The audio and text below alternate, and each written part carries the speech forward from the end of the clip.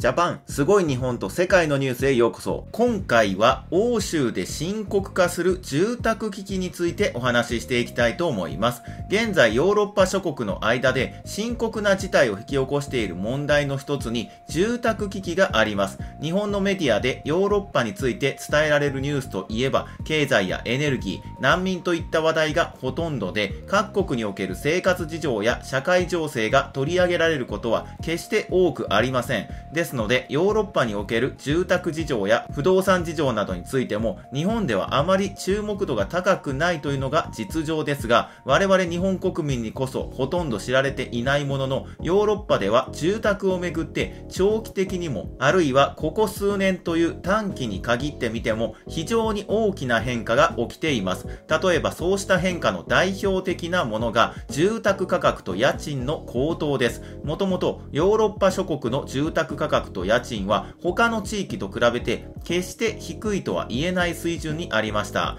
ところが EU 加盟国を例にとった場合、2013年から2022年までの10年間で住宅価格の平均が19%増、家賃の平均が47%増と、いずれも大幅に高騰しており、このことが原因となって、現在のヨーロッパ諸国では住宅危機とも言える事態が発生しているんです。そこで今回は日本では取り上げられる機会の少ないこの問題について見ていきたいと思います。このチャンネルでは日本を応援する立場から日本や世界の興味深いニュースを中心に様々な情報をお届けしています。こちらは当チャンネルから発信した動画の代表的なものになります。こうした情報に少しでも興味のある方や日本が大好きな方は忘れないうちにチャンネル登録お願いします。では行きましょう。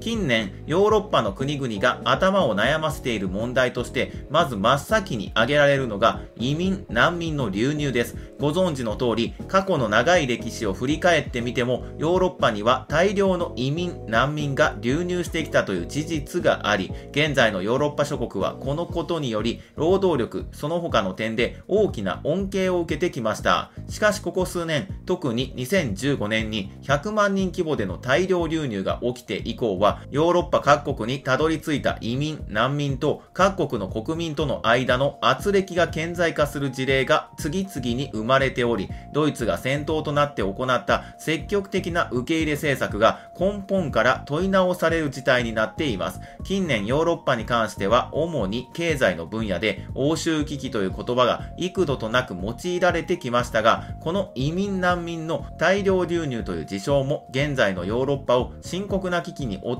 れている問題の一つだと言って間違いないでしょう。他方で現在のヨーロッパが直面している問題を考えるときには、こうした外部からの危機に注目するだけでは十分とは言えません。世界の他の地域においてもそうであるように、現在のヨーロッパも内部からの危機によっていくつかの問題に直面しており、移民難民の問題同様に各国の政府が大々的な対応を迫られるという事態に立ち至っているんです。ただ、内部からの危機といっても、今回取り上げるのは、経済やエネルギーに関する話題ではありません。これらについては、日本でもある程度までは詳細な報道がなされているという感があります。ですので、ここではこれらの話題に比べて、日本のメディアでは黙殺されがちな話題である、ヨーロッパにおける住宅危機に焦点を当ててお伝えしたいと思います。ヨーロッパの住宅事情は、個々の国において、いくつかの課題を抱えながらも、スペインの不動産バブルなどの特殊な事例を除けば長年にわたって安定した状態が維持されてきました。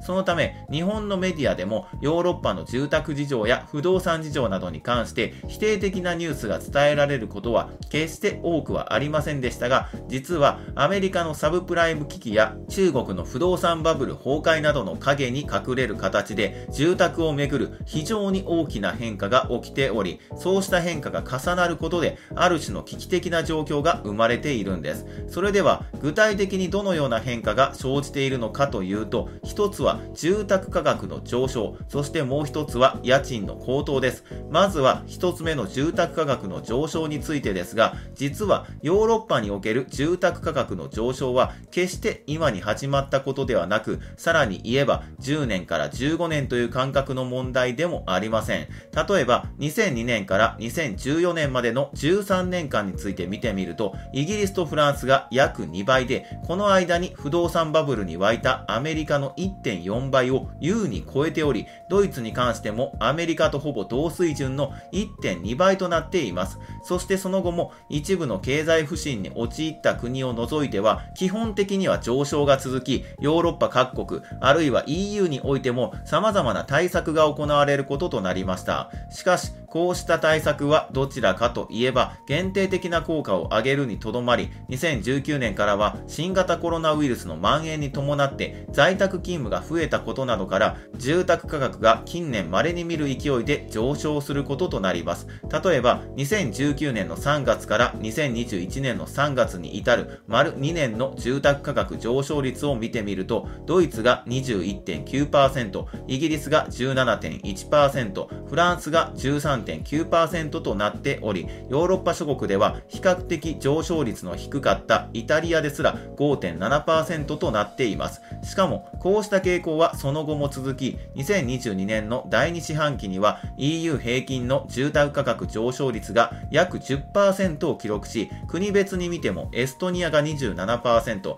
チェコが23%、ハンガリーも23%、リトアニアが22%と EU 加盟国の中では必ずしも経済規模の大きくない国々においても大幅な上昇が記録される事態になりました。ヨーロッパのある民間団体が調査したところによれば、2013年から2022年までの10年間で EU の住宅平均価格は47%も上昇したといいます。そして、こうした一連の変化は当然ながらヨーロッパ各国においてて様々な形で負の影響をもたらすことになります。例えば、ポルトガルでは1977年から1986年までに生まれた国民の持ち家比率が55%であるのに対して1997年以降に生まれた世代では一気に25%程度にまで下がりイギリスの持ち家比率も2004年以降の15年間で6%ほど低下していますあるいはスペインなどの国においては住宅価格の上昇に伴って両親と同居する若者が急増しており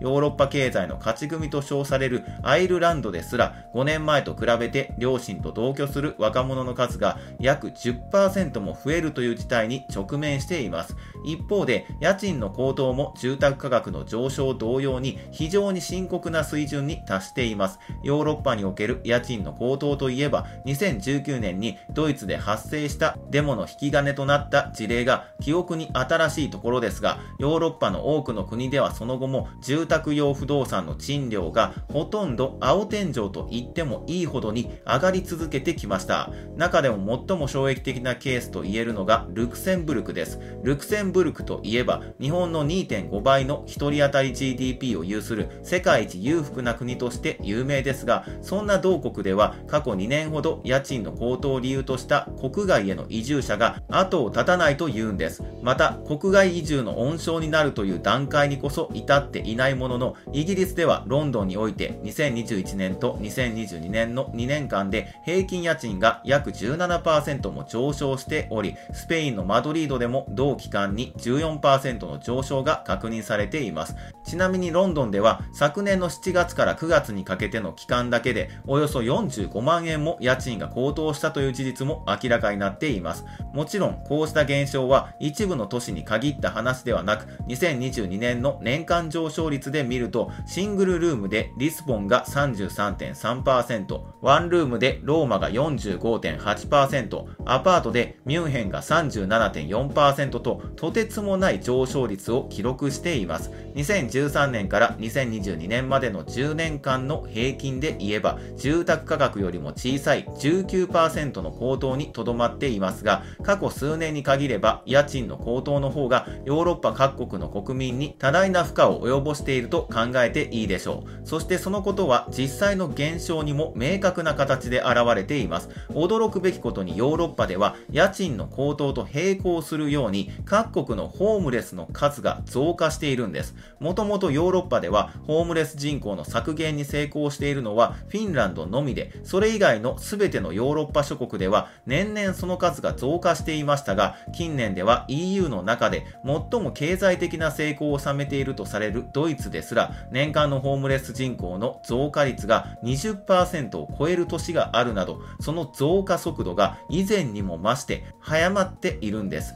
2019年時点で少なくとも90万人と集計されていた EU 圏内のホームレス人口は同年以降約30%ずつ増加しており今後は経済の浮き沈みによって年間に400万人以上増加することも十分にあり得ると予測されています。住宅を買うこともできなければ借りることもできずその挙句には多くの人間がホームレスになることを余儀なくされている。これはどこからどう見ても住宅危機という言葉で表現すべき事態に他なりません。果たしてこのような危機に陥ったヨーロッパが一体どのような処方箋を示すことになるのか。今後の続報にも注目していきたいと思います。というわけでご視聴ありがとうございました。